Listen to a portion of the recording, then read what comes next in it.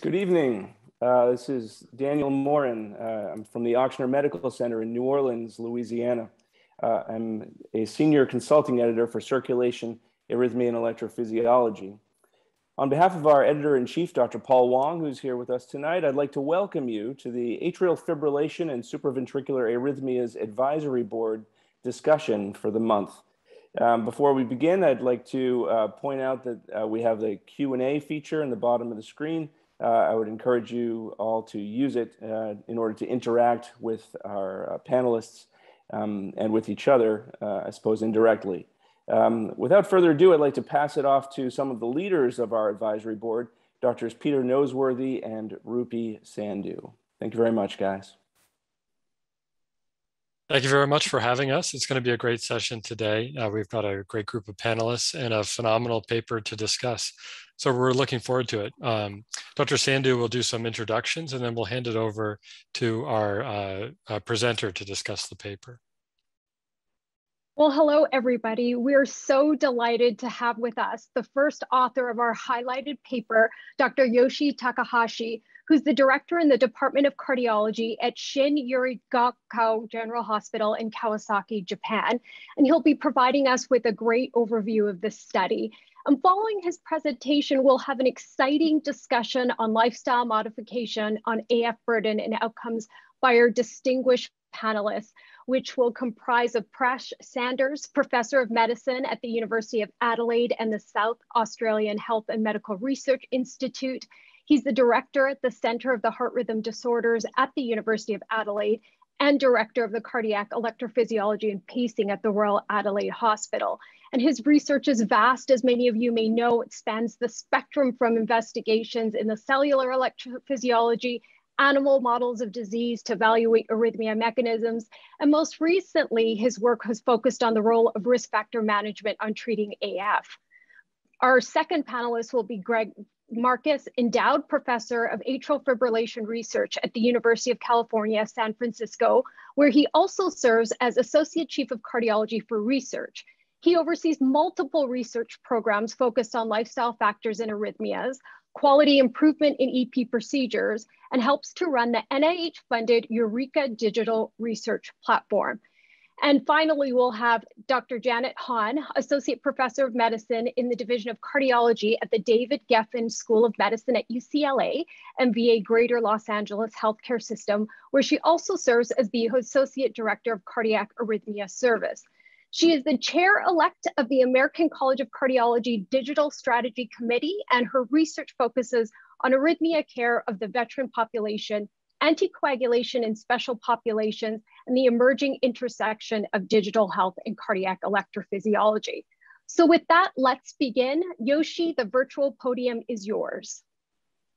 Thank you, Rupi and Peter. So let me share my slide. Okay. So it's my great pleasure to be here, and uh, I'll, I'll, uh, I'd like to give an overview of our study, which was published in uh, Circulation Arrhythmia and Electrophysiology, Electrophysiology this year. The title of this uh, today's talk is The Impact of Alcohol Consumption on Atrial Fibrillation Therapy and Outcomes, Importance of Lifestyle Modifications, COI. So now it is known that risk of AFib is associated with uh, alcohol consumption. So this uh, slide shows an uh, uh, risk of AFib increases with uh, alcohol consumption uh, in a dose-dependent manner. according to this slide, risk of AFib becomes significant around 10 drinks per week. So 10 drinks is a 20, 120 gram of alcohol.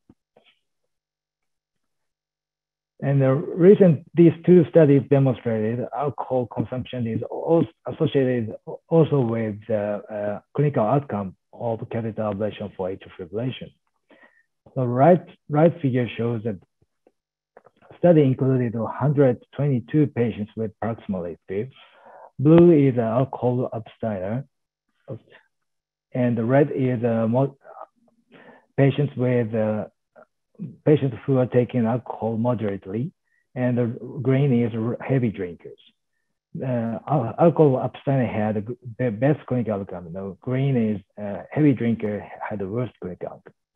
In the right figure included 1,361 patients with paroxysmal AFib, and the red is alcohol abstinent, and the blue is uh, patients who are taking alcohol. And uh, again, alcohol consumption was associated with the worst clinical outcome after catheter ablation for AFib.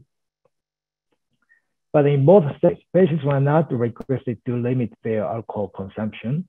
So the question is uh, uh, whether alcohol reduction in alcohol consumption is associated with improvement in clinical outcome after catheter ablation of for AFib. Therefore, uh, we uh, we sought to assess atrial tachycardia free rate after AFib ablation according to alcohol reduction during follow-up. Our study was a prospective multi-center observational study. Consecutive patients undergoing de novo AFib ablation were enrolled at 10 centers in Japan. Enrollment period was between November 2017 and June 2019.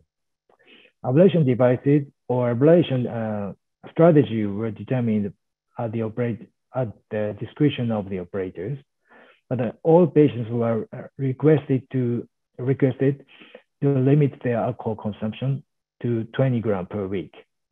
So we set 20 gram because so 20 gram is uh, one unit of Japanese sake, and then beer, uh, 500 milliliter.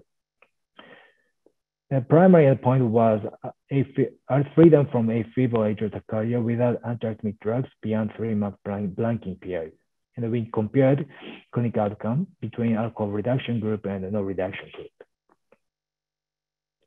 3,521 patients were enrolled, and 47% of patients did not take alcohol at baseline, but 49% of patients were uh, taking alcohol before ablation, and so these patients were included in analysis set. So we split patients into a reduction group and a no reduction group. We uh, determined 1% of cutoff because 1% uh, cut cutoff yielded the minimal p-value. So uh, reduction uh, group included 1,102 patients, and no reduction group 618 patients, and age, gender, BMI, type of atrial fibrillation, and comorbid, comorbidities were similar between two groups. But baseline, uh, baseline alcohol consumption differed significantly between two groups. So reduction group patients uh, reduced alcohol, uh, consumed alcohol greater at baseline compared to no reduction group. Uh, and uh, some patients, uh, some people ask me 1% of reduction is enough. I don't I don't think so because the uh, reduction median percentage of alcohol reduction in reduction group was 75%. So most of patients reduced alcohol uh, more than half, uh, more than 50%. This is the clinical outcome. So reduction group, uh, uh this uh, this uh, figure included paroxysmal persistent, long-term persistent AFib, and what one, uh, arrhythmia-free rate at one year was 83% uh, in the reduction group and no reduction group, 72%. On multivariate analysis, hazard ratio was 0.63, which means uh, alcohol reduction was associated with a lower rate of uh, arrhythmia, arrhythmia recurrence by 37%. So this association seems to seems to differ according to baseline alcohol consumption. So in the group of uh, baseline alcohol consumption, 20 to 119 gram per week, univariate analysis showed a statistical significance. However, multivariate analysis, uh, p-value did not reach uh, statistical significance and hazard ratio was 0.79. In the group of uh, patient, uh, baseline alcohol consumption 120 grams per week or more. unmanipulated analysis, hazard ratio was 0.56, which was much smaller than this value. So this study published in New England Journal in the last year reported alcohol consumption reduction improved the arrhythmia-free rate. In this study, 30% of patients underwent catheter ablation before study period, but ablation was not performed during the study period, and most of patients did not undergo ablation. So some uh, some people ask me, um, PV isolation may should work uh, should work even in patients with uh, who drinks alcohol a lot. But our study suggested uh, patients should uh, patients should stop uh, re reduce alcohol alcohol before ablation and even after ablation they uh, continue uh, reduction in alcohol consumption. In conclusion, alcohol reduction was associated with lower rate of atrial tachyarrhythmia recurrence after catheter ablation of atrial fibrillation. Thank you.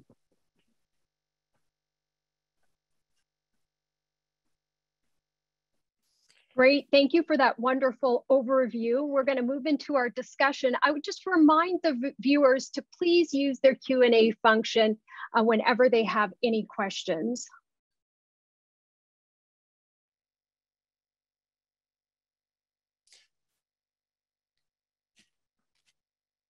Well, thank you very much, um, Yoshi, for that talk. I'll maybe start with a question to you, and then I'd like to hear uh, some discussion from our panelists and their take on this uh, exciting and interesting work. Um, do you have any sense of how durable the reduction in alcohol intake was over the course of the study? Um, as you often see, the lines eventually start to come together a little bit. Is, do you think that's related to people going, you know, drinking again, or is that just the natural history of post-ablation outcomes um, sort of regressing to where they're going to be? Do you have a, a sense of that, or anything you can uh, tell us about that? So uh, you mean uh, patients reduce alcohol, uh, but uh, during a follow-up they increase again? This is what you mean? I, I wonder if that's the case. Did, did you yeah. did you do serial surveys over time? Yeah, uh, so yeah, that's a big problem. So uh, before ablation and maybe uh, within six months after ablation, they are really keen to reduce alcohol because they follow my instruction. But uh, one year, uh, two years, and then they forgot to, and then they believe that it's already cured. So it's very hard to explain uh, outside of the pulmonary vein, there is a uh, arrhythmogenicity may grow, grow uh, with alcohol uh, uh consumption, but uh, uh, it is a, it is problem. And if you look at the, my Kaplan-Meier curve, it comes a bit, bit alcohol reduction group comes comes comes down compared to the control group. So mm-hmm. it catch up catch up to the quick outcome catch up uh, at the end of the Kaplan-Meier curve. It's uh, around two or three years follow-up.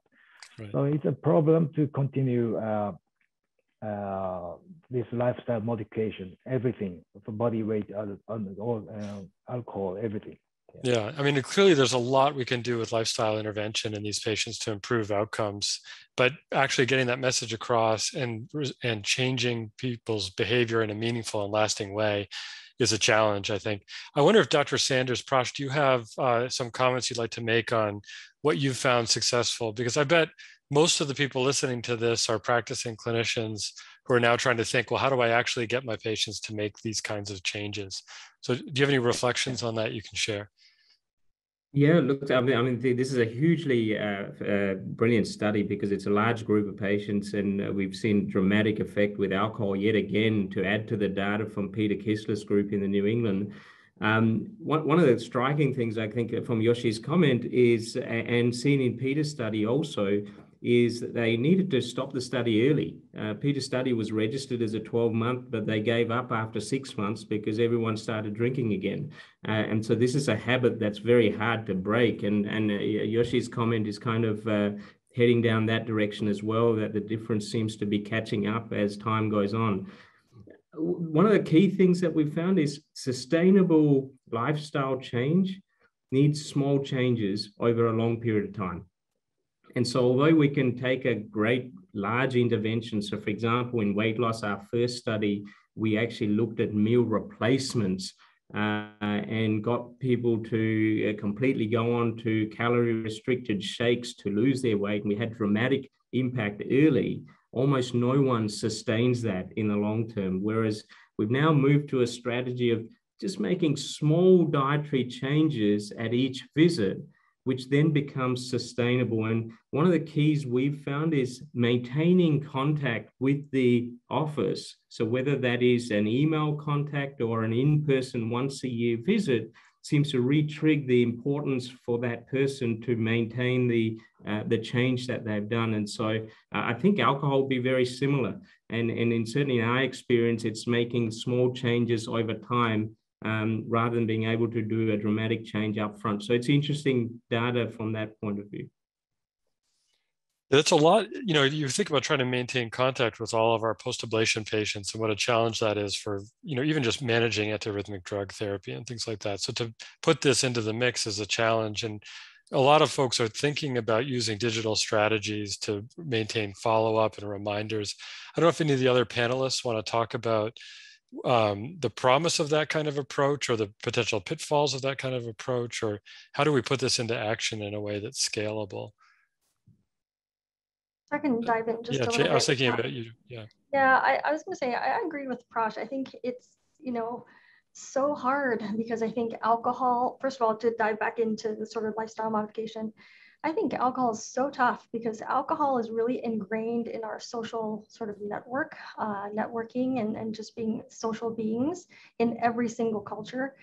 Um, so I think it really takes, I agree with Prash that it takes small changes, but I think it really is that change in mindset that the person is going to have to be thinking differently and not just again making large changes and, and changing your diet by taking shakes and whatnot because it has to be again a sustainable change right? So changing the mindset of people is very very very difficult. So i think the social aspect i think makes alcohol maybe even more difficult uh, than um, than diet and exercise. Uh, digital wise i think um, looking at that perspective i think there's been sort of promises made, and I, am sure you know this as well, Peter, uh, trying to use digital strategies to intervene uh, on lifestyle modification, and it always hasn't it hasn't always been successful. So I think studies still need to be done to really say, do these things that ding at us, you know, a thousand times a day, are those things really going to remind us to be better people? I'm not sure. I, I would just add that um, there is a still, I think, an unknown, and Dr. Takahashi can can correct me if I'm wrong here, but I don't think that this study tells us whether the people destined for successful ablation experienced a heightened risk of subsequent AFib from drinking, or whether the difference we're seeing is really within the group that was going to fail or was more or less likely to fail anyway such that those some of them stopped drinking or drank a lot less, so they experienced a lot less AFib. So I think that you know a common question that patients have who enjoy drinking alcohol, and of course we always want to counsel to avoid drinking in excess. But even some, you know, they ask, you know, I enjoy a glass of red wine once in a while, and the common question is, if I have an ablation, is that going to mitigate that risk? And I think that this remains an open question. If we isolate the pulmonary veins, if, if we're successful, and that particular patient is the type that, for whatever reason that we still don't completely understand, is amenable, uh, their AFib is amenable to ablation, perhaps they then can. I, you know, I think what I tell my patients now is, look, if you want to do everything you can to minimize your chance of having another AFib episode, you should avoid alcohol. But we have to acknowledge this is it's a quality of life um, quality of life uh, issues as well. Um, and you know, Prash just uh, uh, sent something in the chat, which is, you know, we we tried to understand why does this happen. It's quite amazing, given how ubiquitous alcohol is, that we still don't completely understand what it's doing to our hearts, much less how precisely it's causing atrial fibrillation. So we performed a randomized trial in hopes of elucidating that and, and found that participants randomized to intravenous alcohol titrated to a, a, a blood alcohol concentration of, of 0.08% exhibited a substantial reduction in the refractory period, predominantly, interestingly, in the pulmonary veins. And there did, did seem to be something about the pulmonary veins versus the, the, the rest of the atria that was important, which would uh, lead one to think that perhaps if you successfully isolate the pulmonary veins, that might provide some protection against alcohol-induced uh, AFib. Uh, just to comment on the, the issue of behavioral change, the other um, you know, finding we recently uh, published had to do with the acute relationship between alcohol and AFib. And there is evidence, primarily from the smoking literature, that if you can um, uh, educate people regarding fairly immediate risks, those can be much more compelling than these long-term risks. You know, smokers worrying about developing lung cancer 20 years from now, they're like, ah, you know, I, I can't even imagine that. And, and you know, humans, unfortunately, uh, uh, kind of deduce probability based on how easy it is to imagine something.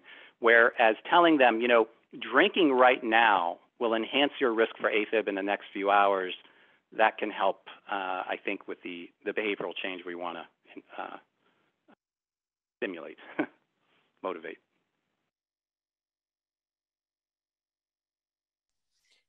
That's a really compelling uh, concept, I think, because there are no immediate, uh, there's no positive feedback to skipping the cheeseburger that day, and you know those those small lifestyle lifestyle changes take years to compound, whereas people can get immediate results, particularly if they're drinking before the ablation and they and they have that life event that causes them to to to change their ways, and maybe that's reinforcing in a way. Maybe we can leverage that immediate positive effects to to um, help promote the other lifestyle interventions that we want to help patients with. I think that's a, a very useful, uh, a, a, very useful uh, uh, formulation. So Yoshi, can I ask you uh, a couple of questions? So uh, did you have to do anything specific to make, get them to make such a dramatic lifestyle change? I mean, th this is a huge reduction that you've achieved. Um, what, what, did you, what did you say to them? Uh, thank you. So actually, we did just uh, uh, explanation from patient to uh, physician to patient. That's it. But uh, currently, I think it's not enough. So firstly, uh, what I did, what, what I'm doing is education in to nurse. So our uh, our hospital team should acknowledge harmfulness of alcohol on the heart, not only liver. So in Japan, uh, liver dysfunction, uh, alcoholic liver dysfunction are uh, decreasing uh, uh, probably during these 20, 30 years. But uh, we did not, we did not know negative effects of alcohol on myocard myocardium or atrial arrhythmias. So just we learning now. So so that's why I'm uh, explaining not only uh, uh, patients, their family, and the nurse, and everyone. And this is one, one thing. And another thing is uh, I'm now using the alcohol uh, app uh, for mobile phone. there is a free app in, available in Japan. So first, now I just studied by myself and trying to uh, uh, try to try it. And uh, maybe next month I will ask patients to use it. And this is, I think, and interestingly, elder people they they are really they stop alcohol very voluntary. Uh, I mean, uh, more than 70 years old. Uh, actually, median uh, alcohol consumption uh, com comparison between uh, over 70 years old and uh, less than 70, and there's a significant difference in our hospital. So uh, I think over 70 years old, they spontaneously reduce alcohol consumption. So, so 70 years old patients, they follow my instruction. But the problem is the very young patients, 40 or 50 years old patients. And I think uh, these patients, uh, maybe mobile phone app will, will work for work. I will see that. Yoshi, did you? I'm sorry, uh, Did you? Uh, did you? Uh, did you uh, repeatedly ask them to cut down on their alcohol, or was that a sort of a one-time discussion that had a very durable, uh, very durable effect, or was that uh, was that repeated that you asked asked them to cut down?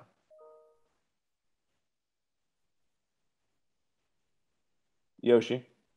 Oh, uh, so uh, uh, actually, in that study, uh, we ask patients every time, every consultation, I ask uh, how, how, how much you take. This is a very effective, actually. So uh, if you can do the same thing in a clinical practice, I think uh, it will work. Very good. So along those lines, actually, uh, you know, I live here in New Orleans, where alcohol is basically water. Um, and so there are lots and lots of people who want to uh, want to drink. And when I talk with my patients about cutting down uh, on alcohol, they will oftentimes ask me uh, about an absolute number of uh, uh, of drinks that would be okay for them to drink. Now you looked at uh, a change from baseline to later.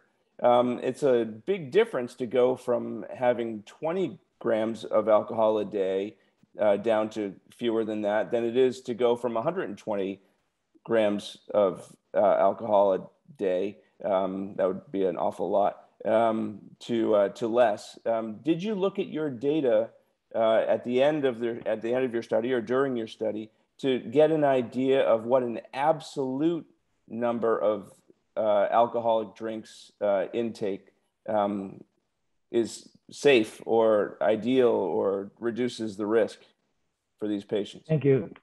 Thank you. Very uh, good question. So uh, when I started analysis, and I thought uh, there, we, uh, I, want to have a clear cutoff of, for, for example, if patients reduce to 20 gram, they will be better clinical outcome. But uh, if they uh, continue alcohol 100 gram, it's, they will be bad outcome. But uh, this such kind of uh, analysis uh, could, could not find a good uh, statistical significance. This is maybe because if you remember my slide, so association between alcohol consumption and clinical outcome FIB differed according to the baseline alcohol consumption. So if patients are taking alcohol 500 grams per week, these patients had a very uh, were uh, with uh, uh, this patient's AFib is greatly affected by alcohol. But if patient had only alcohol uh, 100 grams per week, so this patient's AFib is not uh, less uh, effect, uh, less affected by uh, alcohol. So maybe this patient may should have other risk factors as well. So if it is not only, of course, AFib, due to alcohol, so there's a, a lot of risk factors and we cannot uh, uh, calculate all of these risk factors so far. So uh, it's important, so this study is very important for heavy drinkers, particularly heavy drinkers. Yoshi, so a question has come in a question has now come in from the Q&A uh, from mm-hmm. Walter Clare asking if you were able to look at the pattern of drinking, in particular, whether people are binge drinkers or more habitual drinkers, and whether that has an effect on outcomes. I think you mentioned it actually in the, in the paper that you only had total consumption, but have you since looked at the pattern of drinking, in particular binge drinking versus daily consumption? Oh. No, we didn't have any data on binge drinking. So I don't know about it. So, do, do any of the panelists want to weigh in on that, uh, the, the pattern of drinking and its relationship to atrial fibrillation? Maybe Greg, since you've done that. Sure. So interestingly, there's no, I'm going to let Prash talk about uh, a paper that recently came out of his group, uh, senior authored by Chris Wong, that, that actually uh, was somewhat very uh, novel in its observations, but I think well positioned to be that way because it's one of the largest papers to try to look at this. Um, the evidence in general, with that one exception that again I think is very important, is that the type of beverage doesn't seem to matter or hasn't borne out in previous studies. And in general, the relationship seems to be fair, fairly linear. Of course, this, this is in regards to heightened risk with more drinking rather than lower risk with cessation, meaning the more one drinks, the higher the higher the risk, and that's been shown in multiple studies. There have been a couple that suggest that even one drink um, may increase the risk. Renata Schnabel uh, published a paper, a large epidemiologic study to demonstrate that. In our um, kind of much smaller but densely phenotyped, continuously monitored uh, participants, just one drink heightened the risk uh, of AFib uh, in a few hours. But it is a, an extremely common question that patients ask. They want to know uh, what the threshold is. So, so I'll let I'll hand it over to Prash to comment on that study. Yeah, so, so I mean, I think the paper um, Greg's referring to is uh, data from the UK Biobank, and and I guess there's a slight difference. One is a secondary prevention, one's a primary prevention kind of issues, and so this was kind of primary prevention where it wasn't patients with atrial fibrillation as such, but rather uh, the large uh, database and, interestingly, we found that there was a protective element to alcohol.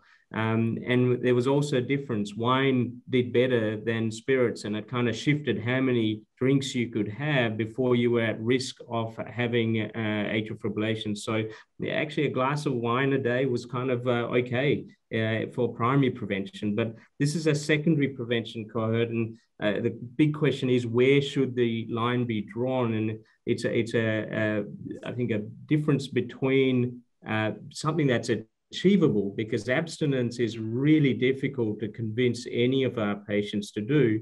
Um, and uh, I mean, Yoshi's picked a, uh, and now I understand why it's 20 grams uh, because of uh, the way alcohol is sold in Japan. Um, but that's actually two standard drinks for us uh, for a week. We've cut it down to three standard drinks uh, based on when we do redo procedures, uh, how much damage we see within the atria. And until we cut it down below three drinks, we always found dramatic changes to the myocardium when we went back in. Unfortunately, we haven't quantified that to, to publish this yet. Um, but that, that's how we came up with three standard drinks in, in our series. So uh, I think it'll be important for us to come up with a number because patients respond better to having a, a number of drinks that they could follow. And I think Yoshi's suggestion is pretty reasonable for the Japanese population. I was actually going to add also, what do you think? Uh, I think Yoshi, you mentioned this uh, during your talk. We talk about how we should be sort of abstaining after, like from the ablation. When you talk to the patient, yeah, we're going to ablate you let's get you to stop drinking and then let's see where you go. What do you think, how long do you think you should have them stop pre-ablation? Or do you think that makes a difference? How long? Uh, I think uh, uh, as long as ever, as long as possible. I don't I, I don't have a, a, any question, uh, any answer to this uh, question. Um, but uh, uh, from my uh, experience of this study, actually 20 gram of limitation is a, a bit severe to many patients. So in, in the group of 120 gram or more, uh, statistical significance was uh, clear. So I think uh, at least 120 gram is the cutoff. And if, it, if they can uh, complete stop, uh, of course, that's better. But I ask, ask patients 120 gram or more than 50%. This is a practically reasonable, I think. And uh, many patients can uh, follow this instruction. I hope, I think. I have a question about patients who uh, drink alcohol for years and then stop uh, completely. Do you think there's regression to a risk that's similar to the baseline population, or are there is there a cumulative toxic insult that leaves the heart uh, injured in a way uh, that is is irreversible? Um, I'm sort of intrigued, uh, Prash, by your talk about bringing people back to the lab and seeing the degree of fractionation or scar, or whatever you're referring to. Yep. But has that been quantified, and do any of the panelists have comment on that? We we studied that um, uh, using data from ARIC, the atherosclerosis risk and community study, where we looked at those who abstained and precisely this question that also comes up frequently, specifically, once you've been drinking, you know, for years and years, is the cat out of the bag? Does it even matter if you stop? And I think that, um, you know, Alex and Peter Kistler's data and now these data suggest that there is some regression, that you are doing something. Uh, and we did find that the people who stopped drinking um, experienced the lowest risk of AFib. It, it was hard. It's hard to know how does that compare to what it would have been if they had never consumed alcohol. Presumably, uh, it's less. Um, but there is evidence for that. So, so one should not uh, give up hope just because they have a long history of drinking. It's a very optimistic message. I like that whether it's whether it's completely true or not is hard to know but at least that's a, a motivating piece of information we can share with our patients. So yoshi mentioned oh Sorry. go ahead Yoshi, so my, my question is, uh, yeah, both this study and also uh, uh, Peter Kistler's study um, takes a population that's consuming quite a large amount of alcohol um, and may not be representative of all the patients undergoing AF ablation.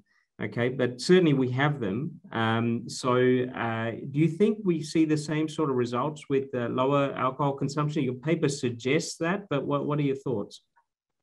Uh, thank you. So, uh, I think uh, so. Uh, alcohol consum consumption of 120 gram per week or more more than that. these patients are uh, uh, benefit from alcohol reduction. And this patient is uh, one third of our patient cohort. It's quite a lot of patients. And, um, and uh, half of patients, 50% of patients are taking alcohol, but so uh, 20% of patients are taking alcohol, but uh, these patients, alcohol consumption is zero gram to 120 grams. So they, they, these patients are moderate alcohol drinkers. So I think um, these patients, um, I'm not sure that they will take, uh, take uh, they will benefit from alcohol reduction. Now, I have a question along similar similar lines. Um, you know, regarding the remarkable drop in, in, in alcohol consumption that you observed, that could be in part also related to the AFib ablation population, where presumably those are more highly motivated, more symptomatic patients, and that may be more difficult to apply to the more general population. Um, what, what were your thoughts or, or what have your observations been uh, from that perspective? Thank you. So, uh, so these patients are, uh, as they say, they are very motivated, and so they are very uh, keen to uh, cure atrial fibrillation. But some patients are very uh, per permanent AFib, a very long term per persistent AFib, uh, I, I discussed with the patients and uh, to do ablation or uh, uh just the rate control. And uh, we also discuss about alcohol consumption because alcohol increases uh, bleeding risk as well. Not only risk of AFib recurrence. And then this patient said, okay, I don't want to have ablation and I want to continue alcohol, that's it. So this is a actual uh, real uh, clinical practice. So um, yeah, so alcohol reduction is uh, very effective in patients who are, uh, for, for example, highly educated people and patients who are very uh, keen to cure AFib, AFib because the, the fa their family already had a stroke or AFib. These patients are really keen to uh, treatment of AFib.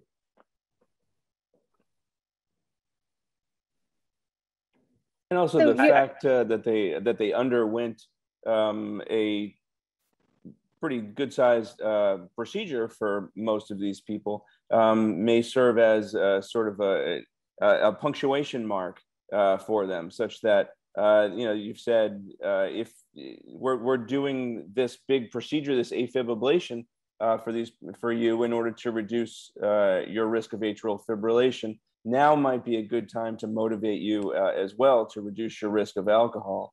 Um, whereas if an AFib ablation had not been performed, uh, there may not have been that punctuation mark, so to speak, uh, in order to potentiate the, uh, the doctor's advice to reduce their dose of alcohol.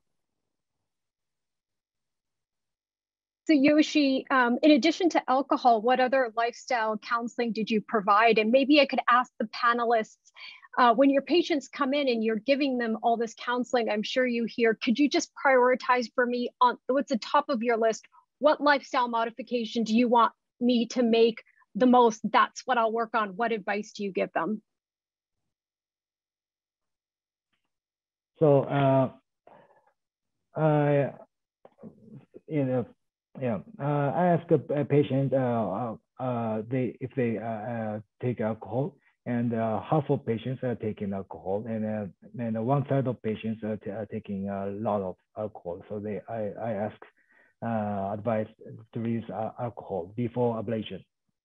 And but in Japan, and if patients uh, had a, is obese, ask uh, uh, some exercise or diet, but uh, a number of obese patients are not not that big in Japan. so BMI greater than 27 is about 15% in my clinical practice.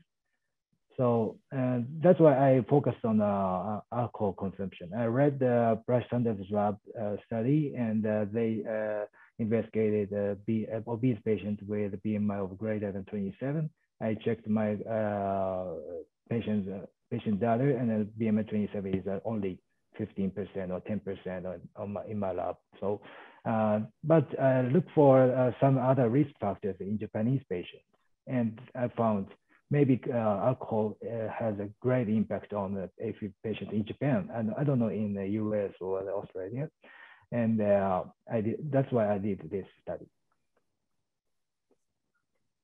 think can I add, add to that answer? I think the um, uh, this is an important area for shared decision making with the patient.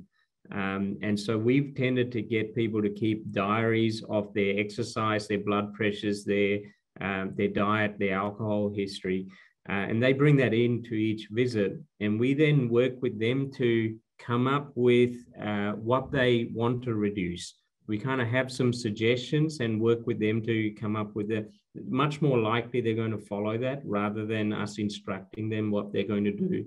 Uh, the main thing that we need to do is to make it achievable. If they don't, if they can't achieve uh, the target we set them, they turn off. And, and that's when you lose the uh, motivation to change. So it has to be an achievable target. Uh, and that's where we, we probably have more of an influence than actually dictating what they uh, do. At Mayo Clinic, I've, I've tried to get patients into uh, cardiac rehab because once they're in cardiac rehab, they have connection with nutritionists, they have structured exercise, they have benchmarks and goals to meet. And uh, our post MI patients do very well in that program. And it feels like uh, we're missing an opportunity to get these patients uh, who are motivated and, and, are at an inflection point in their care, just like a post-MI patient, to engage in those activities. Unfortunately, uh, there's no reimbursement for cardiac rehab after catheter ablation in the US. So it's an uphill battle It's something that we've had a lot of trouble with. It may be something that as a society, um, we may want to, as a professional society, we may want to advocate for because clearly uh, your work and others have shown that we can make a big difference in these patients' lives at low cost by motivating behavior change. And I think that's really the, the missing link for a lot of us. And we've done we've done so much work to build this infrastructure, and it's it's it's unused for this population. Yeah, I was going to say, and uh, I work primarily at the Veterans Hospital, and so in in some ways we're lucky, right? Uh, because we can um, do what Prash has done and we've instituted this sort of heart health clinic that we do send our post MIs uh, to that or any ACSs to that clinic, and they do get hooked into cardiac rehab and nutrition and exercise and you know diabetes. We hook them up with integrative care, et cetera. And so now um, in our own EP group, we've sent our ablation patients or AF patients to that same heart health clinic, and we're starting that sort of branch. And I think the important part of that really is to integrate taking a really good alcohol history because I think people sort of gloss over it a little bit and say, well, how much do you drink? And you sort of say, oh, yeah, you drink, okay, cut down. But I think to Yoshi's point, I think having that number is super important and in integrating that into that heart health clinic. I think the we're, story we're in this major uh, kind of period of transition, I think, where thanks to the work of, of the you know people on the call and many others, the recognition that lifestyle actually matters when it comes to arrhythmias is finally coming to the forefront, but I think it's still new. Um, just the idea that one can prevent an arrhythmia, that lifestyle affects it, uh, that that alcohol is not necessarily heart healthy. I think that's another source of, of uphill battles we're all fighting, um, and which is precisely why this sort of research is so important. And I think the next phase is going to be a lot of the things we're kind of speculating about about and Prash has some some some good you know direct experience understanding well what are the different strategies that actually work to for behavior change in this particular group? And then hopefully we can I, I completely agree with you Peter same exact uh, experience with um, this frustration that there's this infrastructure there would seem to be perfect but we can't um, get insurance to cover it. And so hopefully we can push things that way. Sorry, sorry to interrupt, Prash. No, no problem. Look, uh, I wanted to comment on the cardiac rehabilitation. It really depends on each site uh, as to how the standardization of what's being delivered is, uh, is provided. And one of the things that we've noticed in our coronary artery disease uh, patients who are seeing uh, in those clinics is weight loss is not a big feature of the cardiac rehab programs. And that's such an intensive component of uh, the AF program uh, that we've had to kind of manage that a little bit more directly. They're very good at up titrating of medication. They're very good at lipid management. They're good at promoting exercise and smoking cessation. I'm, I'm not sure alcohol's focused on and definitely weight isn't quite so well focused on. So we may need to expand the cardiac rehab programs a little bit more from the arrhythmia perspective.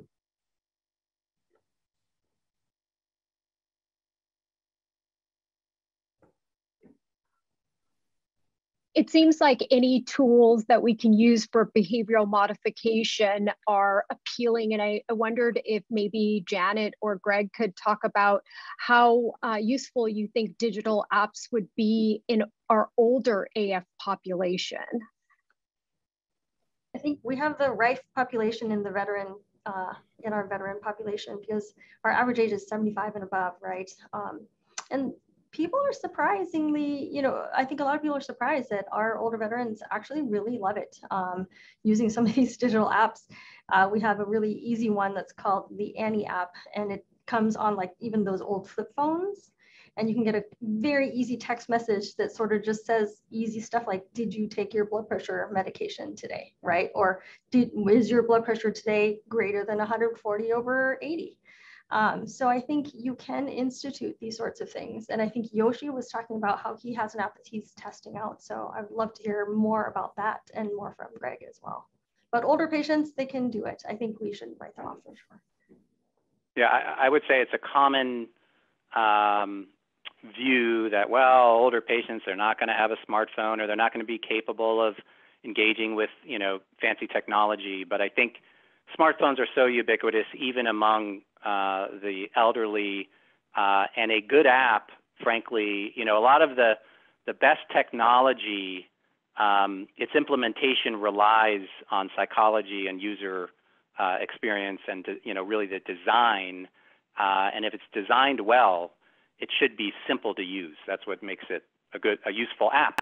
Uh, that all being said, um, I think sometimes we rush a little bit to believe that you know a fancy gadget must be good, and so we want to apply the same rigor that we would to anything else in terms of you know really evaluating it in a scientific way. And no doubt some apps are going to be better than others, but it's definitely a rich area for research. Is trying to figure out how can we util- utilize these tools that we most of us carry around in our pockets to actually imp- help implement behavior change and then also to be flexible. I mean, you know, in, in our studies, we often that are uh, app or remote or technology based will often have a parallel experience um, for those without smartphones uh, where they can interact on their desktop or laptop via email. And I would say, obviously, you know, uh, in terms of just um, generalizability, that's that's the great, great, great majority of even the elderly population does have, thankfully, you know, access to the internet. Another question has come in through the Q&A about uh, whether uh, drinking leads to other high-risk behaviors. And it reminds me of the patient who says, well, I only drink when I, if I only smoke when I drink.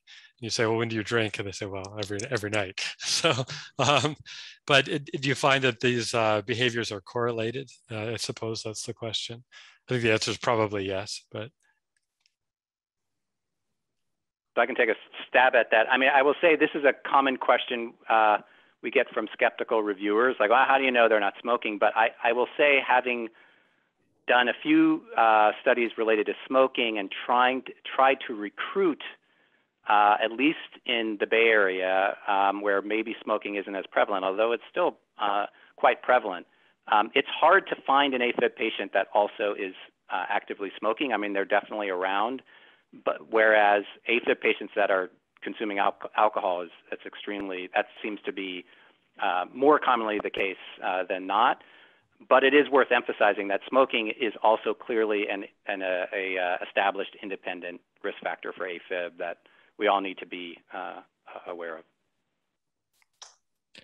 Another question I have is there's this idea, maybe at least in the cardiac literature, that red wine is somewhat protective or maybe wine is better than others but if alcohol itself is a toxin why does it matter if it's wrapped in a you know california cab versus a you know a, a, uh, a, a uh, gas station you know grain alcohol or something? Why, did, why, why does that matter or does it matter or what's the evidence that it matters how you take your alcohol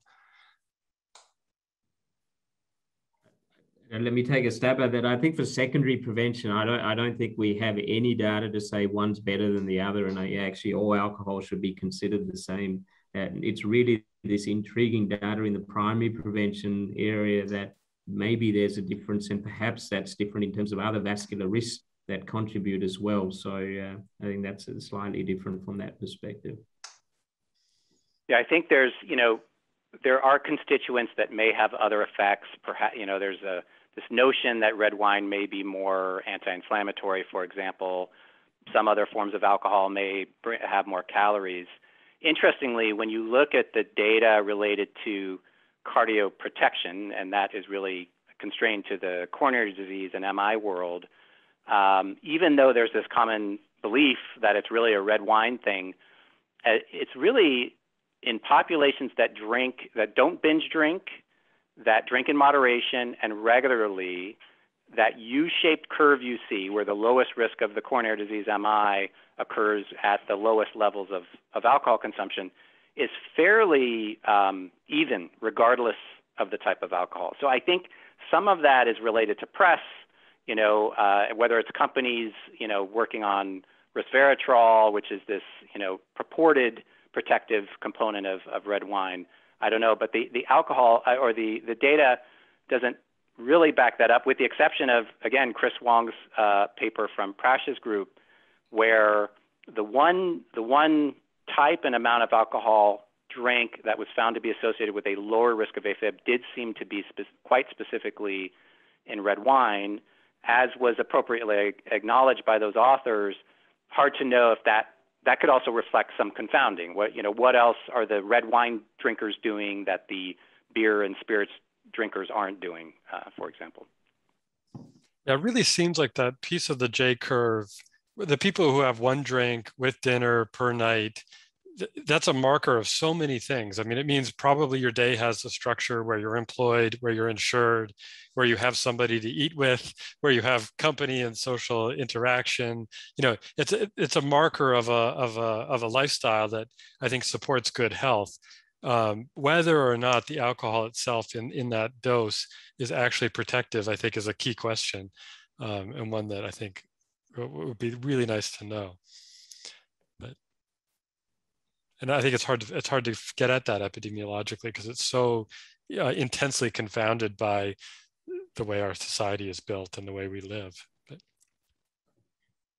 You know, I want to make a, make a comment about the associated uh, risk factors. So one of the things we've seen uh, with sleep apnea, for example, is that there is such daily variations uh, very closely linked to alcohol consumption. So if someone's drinking a lot, they're more likely to have an obstructive episode that night uh, compared to a another night when they exercise and they're well hydrated. Uh, and, and so there is, uh, you know, it may not be a direct correlation, but there may be a prov provocation of other risk factors as well with alcohol. Uh, and I don't think we've appreciated that quite so well. Yeah, just just to add on to that, you know, there's also growing evidence that perhaps even independent of sleep apnea, that simply sleep disruption uh, heightens the risk for AFib, and we know that alcohol can disrupt sleep. And it's important to to to clarify that you know this doesn't mean that it's not the alcohol causing the AFib. That would be one mechanism via which alcohol uh, would lead to AFib.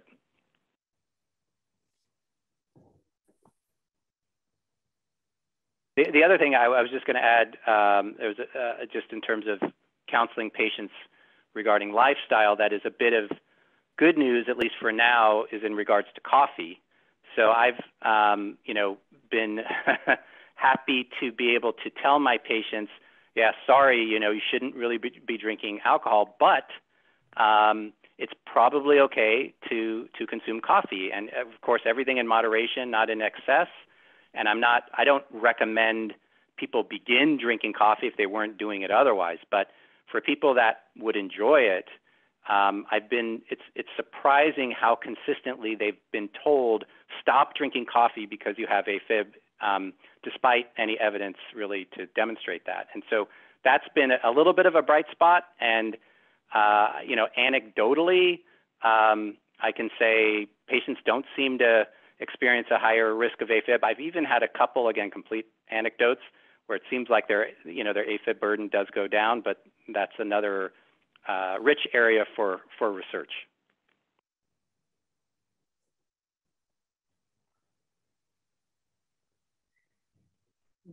Greg, can I get you to expand a little bit more on some of your work where you've uh, actually looked at objective measures uh, of uh, alcohol consumption. I mean, I, I, actually don't know how you managed to put ankle bracelets on people uh, in, in San Francisco. I mean, that's quite dramatic, huh? But, uh, you, you, know, uh, is there an opportunity for us to bring some of these tools into the clinic? Um, probably not the ankle bracelet, but uh, appreciate your views. Sure. Yeah. No, I think this is a place where smartwatches may be useful, where or self-monitoring devices and this idea of N of one studies, for example, especially if we consider the possibility that some of these triggers may be idiosyncratic. Uh, this is related to this trial we recently completed. I'm presenting at AHA called the I iStop AFib trial, where individuals could actually receive feedback regarding their experience after being uh, uh, randomly assigned to go ahead and you know expose yourself to your lifestyle factor versus avoid it uh, while recording their AFib uh, and then receiving feedback about that. And I think you know this circles back to the question of how can these apps be useful. Of course, that all presupposes they're already uh, motivated. Um, it is. I, I, agree that you know strapping the ankle uh, devices on it wasn't easy. We had to put a UCSF cardiology sticker on uh, those devices so people didn't you know think didn't didn't have the stigma that could be associated with those devices. But again, I think transforming these these observations we're making into behavior change that's going to be an important next phase uh, for all of us. Well, we're getting towards the end. Looks like there's one more question in the Q&A about is alcohol heart healthy? Maybe we just want to end the night uh, with each of the panelists making one statement that we could sort of take home um, what's the bottom line when your patient asks you this question? How are you answering it today? Great. Do you want to start and then maybe Prash and then Janet? Sure. So I think, I mean, the thing that we can be very, I think, comfortably confident of uh, is that drinking in excess, and I, I generally say certainly more than two drinks in 24 hours, is harmful, even when it comes to coronary disease and MIs. And that's been We've published on that. Others have demonstrated that. So there's really no question there. And so the the uncertainty lies around this, you know, one drink a day sort of thing uh, at the most. And the honest answer is we don't know. But my suspicion is, and this is what I share with my patients, that there are differences among different people. And if you have someone who has a fib, that's someone who's, um, to the best of our knowledge, declared themselves as someone who may experience more harm with alcohol. And so I, you know, I, I don't want to be naive about it, and I want to, you know, I, I treat the whole patient. And so I do acknowledge the quality of life issues um, and the uncertainties. But the way I tend to frame it is, if you want to do everything that you can to avoid a, uh, AFib, minimizing alcohol as much as you can or avoiding it is probably the best thing. Separately, there there is this uh, question that has come up. Uh, we are working on trying to um, get funding to do a major randomized prospective study to try to answer some of these questions, but um, it's going to be, you know, it, will take some resources to do that. We still don't know. There's a lot of unknowns, to be honest. I think my, my approach is very similar to what Greg has uh, outlined. I think it really depends on the person as to how much we should be uh, gearing them. And in the AF population, they're an at risk population. We've, we've set, as I've said, the limit to three standard drinks. Uh, we depends again on whether we start with that or end with that. Uh, it depends on how much someone is uh, consuming to start with as to what we set as limits for them as they progress. The aim is to get down to three standard drinks a week. We try to say it's either together or spread apart, and we give that kind of choice to the person. Um, and that tends to be something they tend to tolerate a little bit better in terms of advice rather than saying absolutely nothing. So that's that's how we've done that. I would agree with what everyone said. I think the hardest part for us sometimes is if someone's drinking quite a lot, sometimes the first step is just to say, just cut back some, right? Because I think to get them down to two or three is really rough. So again, small baby steps, as Prash has said, but we do try to get them down to a couple uh, a week at the very most. And the way that I sort of phrase it is, in my AFib patients, there are things you can control and there's things that maybe are harder to control. And maybe this is one of the things that maybe you can make a dent in by making choices that we can help you with. Great. I think that's all very good advice. It looks like we're at the top of the hour. So I just wanted to say thanks to uh, Yoshi in particular for conducting that great study, sharing it with us tonight, and then our great group of panelists for uh, bringing your insights tonight. And I think uh, continuing a very provocative and valuable conversation. So yeah, good night, everybody. Thank you. Good night, everyone. Good night. Thank you.